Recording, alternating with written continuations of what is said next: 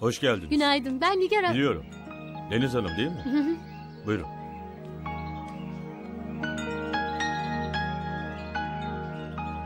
Buyurun.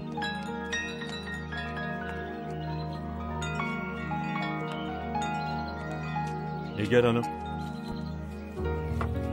Hoş geldiniz. Günaydın. Talihsiz bir kazaydı.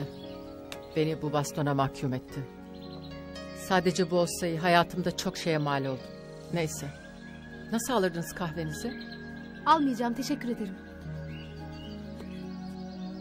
Zamansız olduğunu biliyorum ama sizinle hemen görüşmek istedim. Bugün İzmir'e dönüyorum. Hiç önemli değil. Sizi dinliyorum.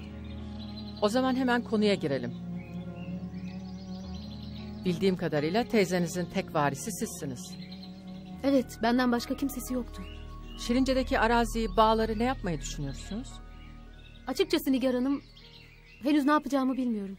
Her şey o kadar ani oldu ki. Anlıyorum ama üzüm zaman işidir Deniz Hanım. Fazla düşünmeye gelmez. Biliyorum. Bağların acil ihtiyaçları var. Sürekli bakım gerekiyor. Ama benim burada devamlı yaşamam mümkün değil. Bir yandan da teyzemin verdiği emeği ve sevgiyi düşünüyorum. Gerçekten bilmiyorum. Ben bütün araziyi satın almak istiyorum. Bu evi dahil hepsini. Değeri neyse vermeye hazırım. Siz köyde bir araştırın, değerini belirleyin. Anladım. Ama şu an için bir şey söyleyemem. Önce ne yapacağıma karar vermem lazım.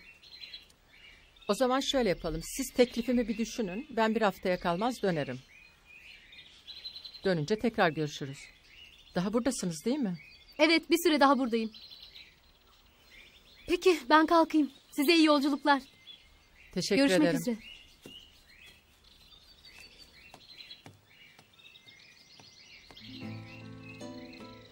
Ne dersin? Satacak gibi geldi bana.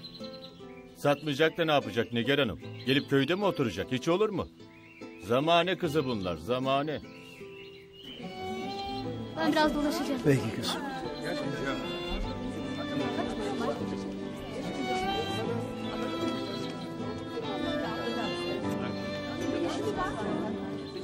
ATV YouTube kanalına abone olmak için tıklayın.